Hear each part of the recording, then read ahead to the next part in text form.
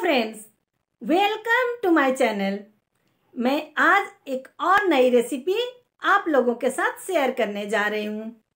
मुझे उम्मीद है आप सभी को ये रेसिपी बहुत पसंद आएगी।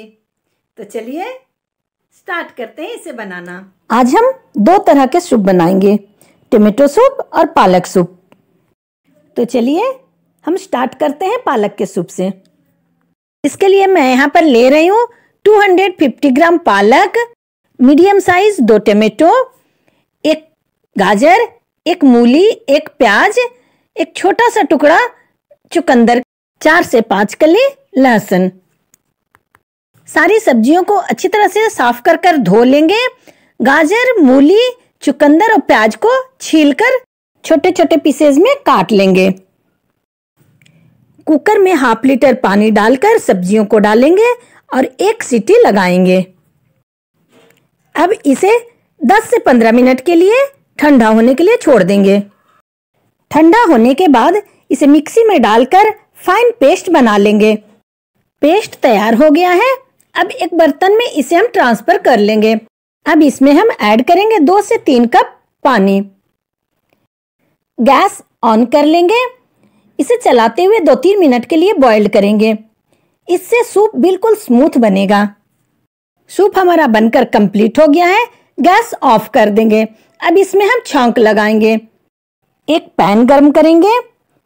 उसमें हम डालेंगे एक बड़ी चम्मच घी। अब हम ऐड करेंगे वन स्पून जीरा, वन स्पून गार्लिक पेस्ट। अच्छी तरह से इसे चलाते हुए भून लेंगे और गैस ऑफ़ कर देंगे। छौंक को अब हम सूप में डाल देंगे। अब इसमें ऐड करेंगे वन स्पून नमक लीड कवर कर देंगे। इसे सर्व करते वक्त ऊपर से हम फ्रेश क्रीम या बटर और ब्लैक पेपर पाउडर डालकर सर्व करेंगे। अब हम बनाएँगे टमाटो सूप टमाटो सूप बनाने के लिए हम लेंगे चार टमेटो दो गाजर, एक प्याज, चार पाँच कली लहसुन की और बहुत छोटा एक टुकड़ा चुकंदर का। इन सारी सब्जियों को धोकर साफ़ कर लेंगे और छोटे छोटे पीसेज में काट लेंगे। कटी हुई सब्जियों को कुकर में डालेंगे। उसमें अब हाफ़ लीटर पानी डालकर एक दो सीटी लगने देंगे। इसे 10-15 मिनट के लिए ठंडा होने के लिए छोड़ देंगे। ठंडा होने के बाद मिक्सी जार में डालकर इसका फाइन पेस्ट बना लेंगे। पेस्ट बनकर तैयार है। एक बड़े छलने से इसे छान लेंगे। अच्छी तरह से इसे चलाते हुए छान लेंगे, जिससे कि इसमें जो रफेज है, वो अलग हो जाएगा और उसे हटा देंगे। इसी तरह से हम सारे सूप को छानकर फ्रेश कर लेंगे। गैस ऑन कर लेंगे। अब इसे चलाते हुए बॉईल करेंगे। इसमें हम ऐड करेंगे एक चम्मच कॉर्नफ्लावर या अरारोट एक कटोरी में कॉर्नफ्लावर डालकर थोड़ा सा पानी मिलाएँगे। और अच्छी तरह से चलाते हुए घोल बनाएँगे। अब इसे सूप में डालकर चलाते हुए सूप को बॉईल करेंगे। सूप ठीक भी हो जाएगा और इसका कलर भी चेंज होते जाएगा। अब इसमें हम ऐड करेंगे one spoon salt and one spoon sugar sugar इसीलिए ऐड कर रही हूँ कि ये टमाटो सूप का खट्टापन को बैलेंस करता है।